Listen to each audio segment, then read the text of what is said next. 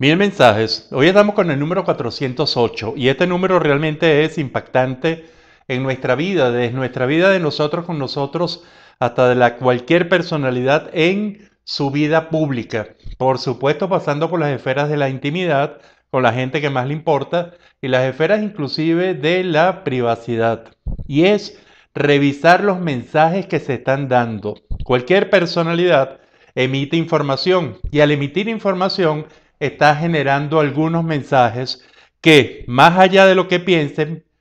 de lo que piense esa persona, pueden ser muy importantes para otros, en especial para los seres más amados en sus roles de pareja, en sus roles de hijo, en sus roles de padre, en sus roles de hermano, en su rol de amigo. Y realmente estos mensajes son básicos. Pero si lo llevamos a la otra parte, a la vida pública, cuando la vida pública cuando el personaje tiene un cierto, una cierta ascendencia en la vida pública, entonces comienza a ser también muy bien valorado en el sentido de que se deben revisar los mensajes que la gente está generando, esos mensajes que la gente está dando, esos mensajes que van transmitiendo lo que realmente eh, hay una información que muchas veces inclusive no sabemos, no llegamos a valorar lo importante que pueden ser para otros. Entonces los criterios son muchos, los criterios con los cuales nosotros debemos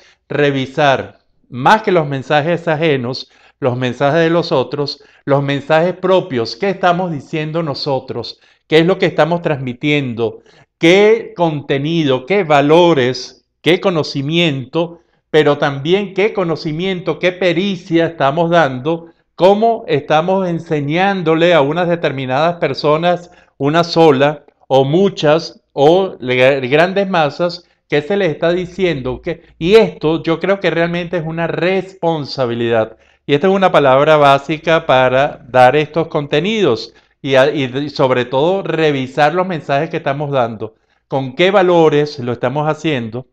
Con qué conocimiento, qué emoción estamos transmitiendo, si es una emoción pesimista, si es una visión optimista, si es una visión realista, si es una visión que realmente le corte muchos sueños a quienes están escuchando y recibiendo los mensajes, o por el contrario les estamos planteando falsas expectativas. Entonces yo creo que esa mezcla de valores, conocimientos, de esa emoción que transmite cada uno de los mensajes y de esas pericias, de, ese, de, esa, de esa enseñanza, de ese aprendizaje, sobre todo de cómo vivir en el sentido más amplio o de cómo enfrentar una determinada situación, debe ser causa de un monitoreo permanente de cada uno de nosotros hacia los mensajes que estamos emitiendo. Yo creo que esto es básico y esto es básico, fíjense y vamos a revisar muy rápidamente, por supuesto, los diferentes roles. Una gente como amante, una gente como amor, una gente con su pareja, qué mensajes le está dando a esa otra persona, a esa otra persona que decidió probablemente complementar o suplementar la vida nuestra a través de una serie de elementos comunes y además del respeto de las diferencias, en donde esa complementariedad o de esa capacidad de ser suplemento nos hace ser y nos debería ser mejores personas y que viene a ser la esencia del amor, que también se puede revisar en los mensajes que le estamos dando, por ejemplo, a nuestros hijos. Y esto es una pregunta básica, muy poca gente la contesta desde el punto de vista racional, mucha gente la contesta desde otro punto de vista que también son muy valiosos, pero que vale la pena revisar. Es decir, con qué escala de valores, cuáles son los valores fundamentales que usted le está dando, por ejemplo, a los hijos suyos. ¿Cómo quiere usted que sea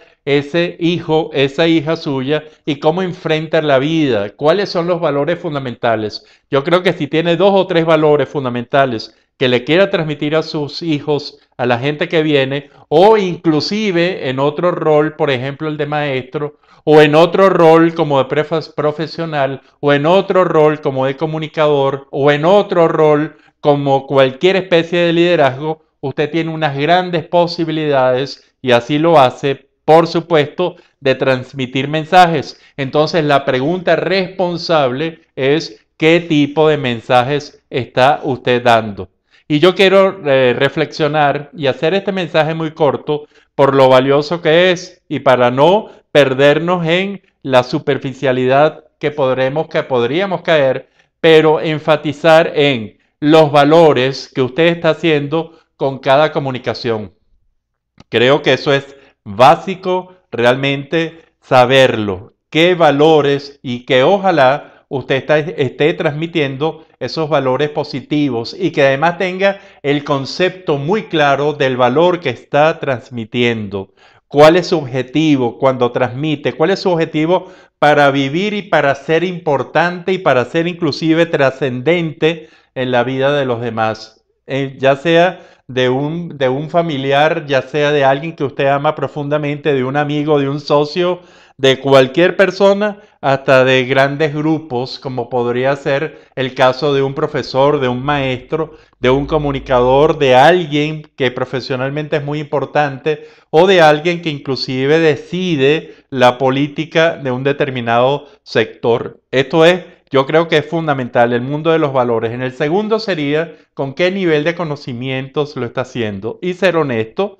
con el nivel de conocimiento que usted posea para transmitir lo que usted está transmitiendo. El tercero, sin duda alguna, es la capacidad, las pericias que usted esté dando. ¿Cuál es el objetivo? ¿Qué es lo que usted quiere transmitir para enseñarle a los otros de cómo hacer una determinada cosa muy específica o de inclusive de cómo debe abordar la vida de acuerdo a su visión y respetando, por supuesto, las visiones de los otros. Y fundamentalmente ese mundo emocional, ese mundo emocional que se eh, genera con una transmisión y que realmente es como un comodín, aunque usted no sea muy bueno en valores o no tenga muchos conocimientos que transmitir o pericias, probablemente si usted hace esto con la supremoción llamada amor, probablemente usted está haciéndolo muy bien, porque el resto puede ser formulado, reformulado, rectificado,